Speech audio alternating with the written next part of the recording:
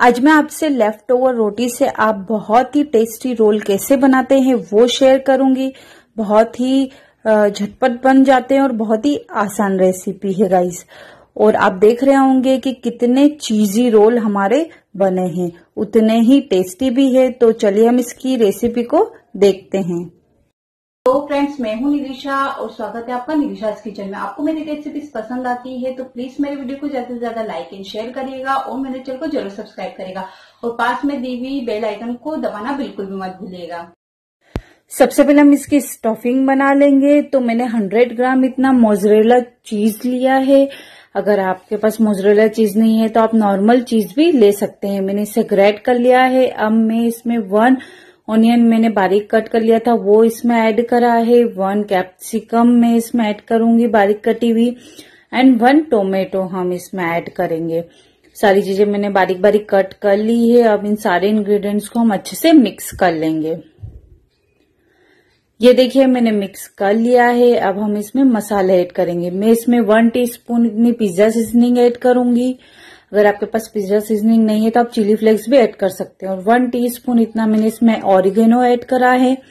और one pinch इतनी मैं ब्लैक पेपर ऐड करूँगी और नमक स्वाद अनुसार।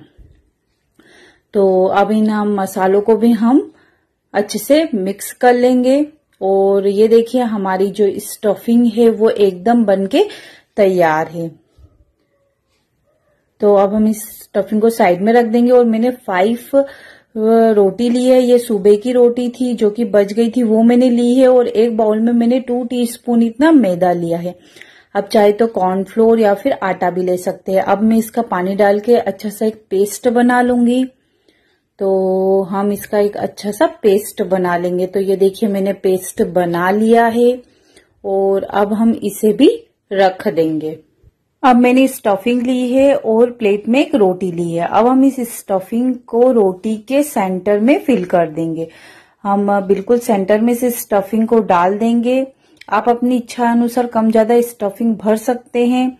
और अब में हमने जो, वो जो मैदे का पेस्ट बनाया था ना, वो लिया है। अब हम इसे रोटी के तीन कॉर्नर पे लगा देंगे।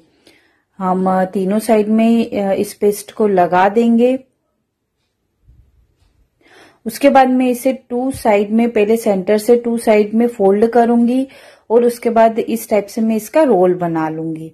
तो ये देखिए, ये मैं रोल बना रही हूँ और इसे हम अच्छे से दबा के स्टिक कर देंगे। तो ये देखिए कितने आसान तरीके से हमारा रोल बन गया है। तो ऐसे ही मैं ये सारे रोल्स इसके बना लूँगी। ये देखिए, मैंने सारे रोल्स बना लिए हैं। अब हम इन्हें फ्राई करेंगे। फ्राई करने के लिए मैंने एक फ्राई पैन लिया है और उसमें हम थोड़ा सा ऑयल डालेंगे।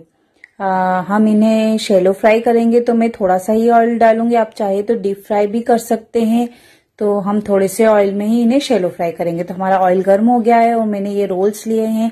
जिस साइड से हमने इन्हें स्टिक किया था ना उसी साइड से हमें इन्हें रखना है ताकि हमारे जो रोल्स है वो खुले ना।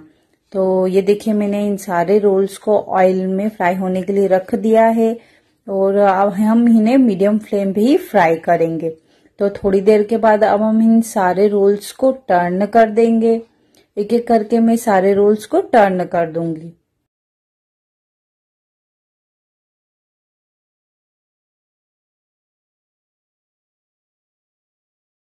ये देखिए हमारे रोल्स का कलर चेंज हो गया है ये डार्क ब्राउन हो गए हैं और एकदम क्रिस्पी भी दिख रहे हैं।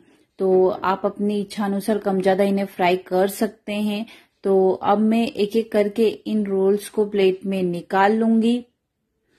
और आपने देखा होगा कि कितने आसान तरीके से और झटपट हमारे ये रोल्स बनके तैयार है। तो अब हम इन, इन्हें सर्व करेंगे। सर्व करने के लिए मैंने एक सर्विंग प्लेट लिया है। उन पे हम ये रोल्स को सर्व करेंगे। उसके ऊपर में थोड़ा सा टोमेटो केचप डालूँगी। आप चाहे तो ग्रीन चिली चटनी या फिर म्योनीस भी डाल सकते हैं। मैं ओनली टोमेटो केचप डाल रही हूँ और अब हम इसके ऊपर थोड़ा सा चीज़ भी डालेंगे। तो आप देख रहे होंगे कि कितने यमी रोल्स हमारे लग रहे हैं।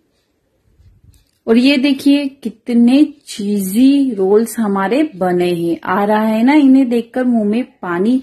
तो आप भी लेफ़्ट ओवर रोटी से बहुत ही आसान तरीके से एकदम चीजी रोल बना सकते हैं। आपके घर में जब भी रोटी बन जाए तो आप इसे बनाइए। बहुत ही टेस्टी होता है और बहुत ही जल्दी आप इन्हें बना सकेंगे। तो आपको मेरी रेसिपी पसंद आई है तो मेरे वीडियो को आप ज़्यादा से ज़्यादा लाइक एंड शेयर करिएगा और मेरे चैनल निरिशास किचन को सब्सक्राइब करना बिल्कुल भी मत भूलिएगा।